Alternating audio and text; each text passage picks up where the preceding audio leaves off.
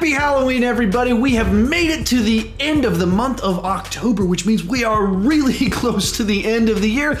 And it also means it's time for another Blu-ray haul. I got some nice pickups this month, not a ton, but uh, not a small number either. And with that said, let's get started. Kicking it off, pretty safe pick for, pickup for me. Ant-Man and the Wasp. Obviously, uh, I, I kind of cover the Marvel stuff quite a bit, so this was uh, one I definitely needed to pick up. But more importantly, my wife hadn't seen it yet. Uh, I went to go see it. I got to take my son to go see it, and then my wife was very pregnant at the time, so she didn't end up seeing it. So that was kind of fun to get to, to watch that one with her and my daughter as well. So the whole family has now seen Ant-Man and the Wasp. So that was our first pickup of the month. Next up, I picked up a few movies in hopes of being able to do a Damien Chazelle uh, ranking video which didn't happen. so first one up, I got Whiplash. I, I, mean, I've seen it several times, but I didn't own it. So it's like, this is the perfect opportunity to rewatch all these and uh, talk about them. And then, you know, with my ranking video that was, like I said, never happened. But so picked up Whiplash. Uh, yeah, I, I, love this movie. Just such a nicely crafted movie. A movie that you, I would never think I would be interested in if you told me the premise, like there's this competitive drummer with a mean teacher and it's like a really good movie. I'd be like, I think I'll pass on that one. And then you watch it and the way it's constructed and this exploration of the obsession and people that get locked in on what success looks like and put so much worth into it. Fascinating, fascinating film. It seems to be a recurring theme in uh, the movies of Damien Chazelle. But so, uh, picked that one up, watched it, and um, have done nothing with that as of yet. Next one I picked up, uh, following in that tradition, would be La La Land, his follow up film to Whiplash, that in his own way tackles a lot of the exact same themes. It's about people that are chasing to be successful, that they have a passion and they're willing to pay the cost in pursuing it. And you watch kind of a love story and all the things that go along with that as two people in two different fields in the same city chasing success and perfection and being the best that they can be.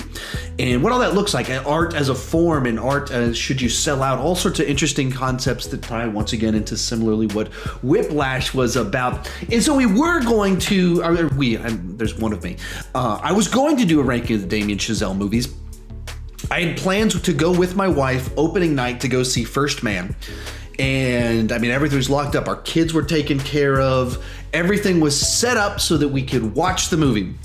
And then my brother-in-law's wife had to go and have a baby, and so all of a sudden, got to go see the new baby. So it was a very exciting time. My, we had obviously had a baby about six weeks ago, and then right at about one month later, they had a baby, which is fun to kind of have two babies that are um, right next to each other in in age. And what's funny is that our baby's a month old, but their newborn weighs more than, or I guess ours is a newborn too, but their right out of the womb baby weighed more than our month old baby and our baby wasn't like light or anything or earlier it wasn't anything like that. Just their baby was that big which is a lot of fun uh, the way that all life works out. But that's the reason that i didn't have a review for first man and it's also the reason that i did not uh, rank Bad Boy Damien Chazelle's movies. I haven't seen First Man yet. It just didn't work out because um, date night got messed up and then kind of my scheduling and everything. I, I, just haven't seen it yet. And some of the appeal to rush out to go see it got lost because I heard from a lot of people that are uh, more in line with my taste that uh, had some problems with it. Even people that were big Damien Chazelle fans for his previous films too. I also know a lot of people that loved it. So I really need to go see that one. It just just hasn't worked out yet. Next one that I purchased was La La Land. Um, I picked this one up in order to do a Damien Chazelle ranking, and on sale at the same time was Copland, super cheap. So I picked up Copland, and then in the mail they also sent me a second copy of Copland. and so, uh, yeah, apparently when you order off of uh, Amazon, occasionally oopsies happen, and you end up with extra copies. So uh, I guess I'm supposed to return um, these two bad Mamba Jams right here but as of yet, I haven't done that because, as I've mentioned, I've been kind of busy and uh, life just hasn't allowed that to happen yet. But there they are, my extra copies. And part of the reason why, at first glance, it seems like I got a pretty good number of movies this month. And then when you look at it, you go, oh no, I got two copies of these. Uh, doesn't really count, I don't think. And so there you have it. Um, as I actually can talk about Copland real quick. Um, this is from, if you haven't seen this one, it's from James Mangold back in the 20 years ago, back in the late 90s. A great little film um, about uh, his uh, small town cop taking on some New York City police officers. Stallone put on a bunch of just weight, is it just fat for the role? Kind of went against his entire type in the film. Really good little film showing the potential that James Mangold had that he's you know demonstrated multiple times over the last well since that movie came out. Next up, uh, picked up this guy right here with some of those. Uh, the one I was actually picking it up for this guy right here, Freddy vs. Jason. I don't think that there's an individual release for this movie, and so then I picked this one up to kind of fill my collection. I already rented it off of Vudu to watch it. I was like, oh man, if only I had seen this a couple days sooner. But being th- having this blue version of the Blu-ray is better than having to hunt down a thirty dollar version or something like that since this was only like 12 bucks or something like that at Best Buy. Best Buy has a bunch of things like this where I live where it's like three movies on Blu-ray and I don't like the packaging, but you get the movie cheap and so that'll work for me. And my last pickup of the month, which is also another way in which I got a bunch of movies while not getting that many individual things in a different sense.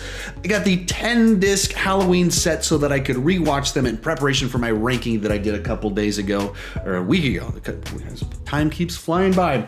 So bought this one at the beginning of the month and then uh, spent 10 well 10 days straight every night watching a new halloween movie um, in preparation. I actually started on the friday the 13th movies like two months ago so like i started working in, like in advance on that one. Halloween it was like i just binged watched the entire series leading up to the new release. Anyway there you have it. There's uh, this week's release or this month's purchases that i picked up.